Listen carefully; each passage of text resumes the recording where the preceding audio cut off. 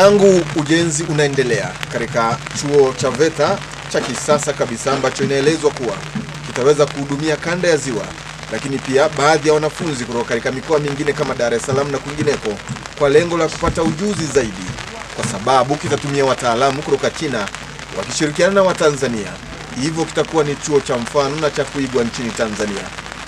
Kilizinduliwa mwaka 2019 ikiwa ni Novemba 28 na waziri wa elimu na ufundi Profesa Joyce Ndalichako akishirikiana na balozi wa China nchini Tanzania.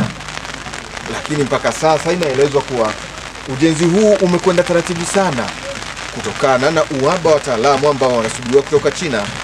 Lakini jambo kubwa zaidi iliyowazuia hao kufika nchini Tanzania ni kwa sababu ya uwepo wa virusi vya korona.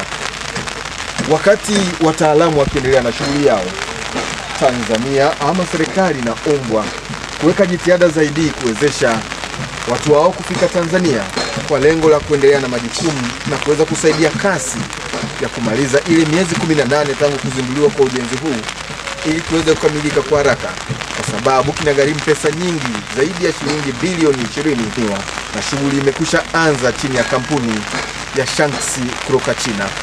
Nicolaus Makingaiza, Azam News, Bucoba.